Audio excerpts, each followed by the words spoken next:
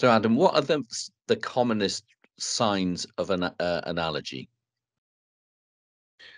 Most allergic reactions, thankfully, are quite mild. So the typical signs of a food allergic reaction would be itchiness around the mouth, redness, maybe some hives, sometimes some swelling. But there are signs that could suggest that there may be a more serious reaction going on. So, for example, anything that's affecting the breathing, so persistent coughing, shortness of breath, chest tightness, a change in your voice, for example, or anything that's affecting blood pressure. So that would usually show itself as things like confusion, dizziness, or just a sense that something awful is about to happen. We refer to that as a sense of impending doom. Any sign of a severe reaction, for example, involving breathing or your circulation, that's a medical emergency. If there's adrenaline to hand in the form of an auto injector, that's the time to be giving it and make sure that somebody calls for help.